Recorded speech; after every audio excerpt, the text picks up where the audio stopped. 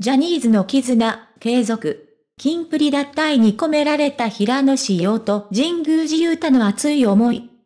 キンプリのメンバーであった岸優太、神宮寺勇太、平野志陽が5月22日をもってグループを脱退し、岸以外の2人は同日付でジャニーズ事務所を退場しました。多くのファンが悲しみに暮れる中、彼らと親交のあったジャニーズの仲間たちも寂しさを感じているようです。公式モバイルサイトジョニースウェブやラジオ番組などで彼らとの思い出を明かしています。キンプリは19日のミュージックステーション2時間スペシャルや20日放送のベニュー101に出演し5人で素晴らしいパフォーマンスを披露しました。ミュージックステーション終了後キンプリ公式ツイッターは番組で共演したスノーマンとの記念写真を公開しました。さらに21日の午後6時台にはトラビスジャパンのメンバーと撮った写真をアップし、応援に来てくれていました。と報告しています。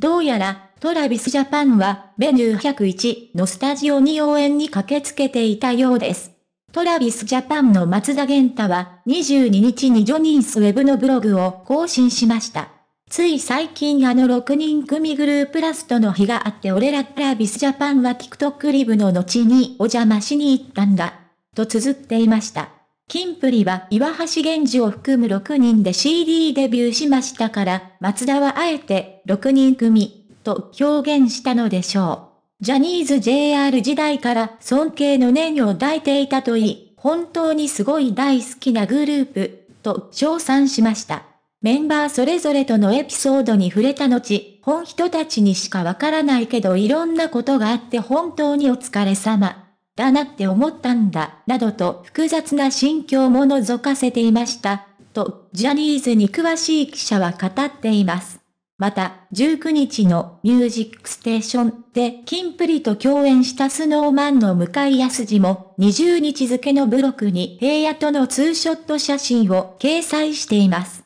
さらに、 SixTONES の森本慎太郎やコーチユーワレも22日付の自身のブログでキンプリのメンバーに言及していました。ドラマ、准教授高月明義の推察のシーズン1とシーズン2で神宮寺と共演した平成ジャンプのイノビ系は21ケラ22日にかけて放送されたラジオ番組ラジラー、サタデーの中で二人で食事に行ったことを明かしました。俺よくよく考えたら二人で行ったんだよ。後輩と二人でご飯行くの多分初めてで、と告白しています。伊能はこの時、共演したドラマの思い出やメンバーの話だけでなく、昨日、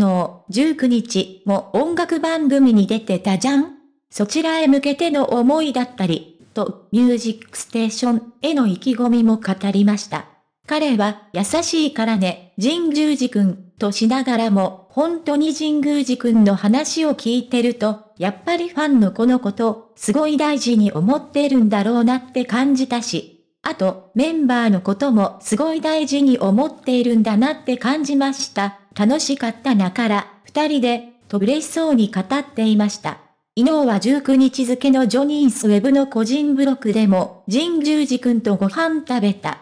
と、ツーショット写真を掲載しています。一方、22日にはキンプリメンバーも続々とブログを更新しました。高橋はファンやこれまで一緒に活動してきたメンバーに感謝の気持ちを伝え、正気志君人はこれからも友達としてどうぞよろしくお願いします。角は手を取り合って仲良くお願いします。とメッセージを、綴り元メンバーの岩橋も含めて正気志君人伝元気君キングプサイしているよ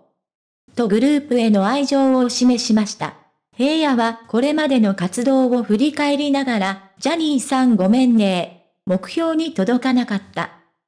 と、前所長のジャニー北川氏との約束が果たせなかったことに悔しさをにじませ、ファンのみんなには悲しい思いをさせてると思います。ごめんね、と謝罪しました。みんなは自分を一番に考えてください負けないようにあなたの人生はあなたのものだから、ね。